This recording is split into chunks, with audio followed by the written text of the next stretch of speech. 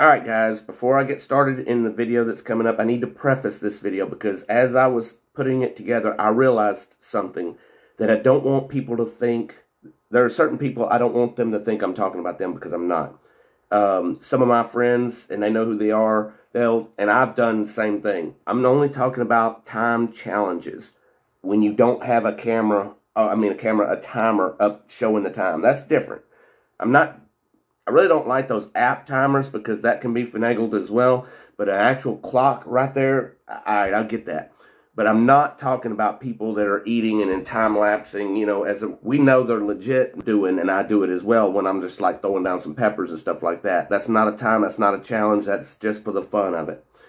That's not what this video is about. This video is about when you have a legit challenge sent to you, and everyone's been doing it, and it's a timed deal, and you have to go through these suffer sessions and whatnot, and then you get other channels that want to grab that and just, you know, this, and they got lots and lots and lots of views, lots and lots and lots of subs. Hey, it is what it is, but it's not legit. I mean, I'm not saying all of them ain't legit, but come on, man, there's a lot of them that ain't legit. And some of them have several thousand subscribers, if not maybe a million subscriber. Um, you know, what's that, what's that one guy that's always pouring the sauce all over everything? And then, yeah, it's not legit, man. All of us know that. Hey, what's up, YouTube fam? Today I'm doing a little different video. It's a video explaining why uh, some of us in the Heat community take our challenges very seriously. That's why you don't ever see us speed up when we do a challenge. We actually do the challenge. We do the the uh, suffer session and everything it requires. We read things off that's required is because we take the challenge serious. There are other channels out there that kind of just breeze through it with a uh, time lapse that don't really do the challenge, but it looks like they're eating it. Now, I'm doing this video as an illustration of why we don't really respect people that do challenges with it sped up because of what we go through in real time.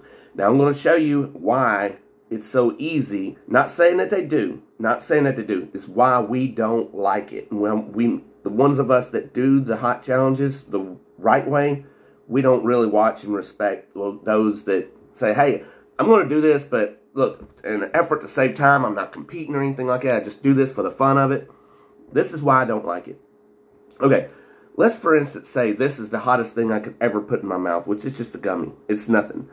But let's just say, let's act like we're in a real world here, and this is the hottest thing we could ever put in my mouth. Okay.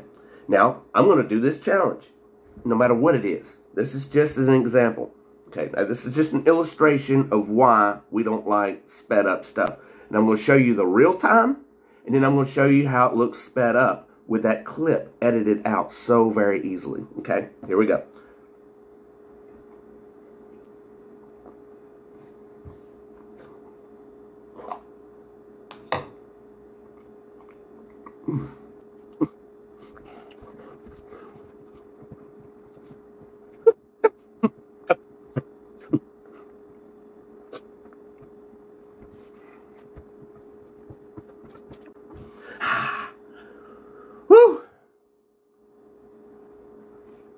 Show you the real time, and then I'm going to show you how it looks sped up with that clip edited out so very easily. Okay, here we go.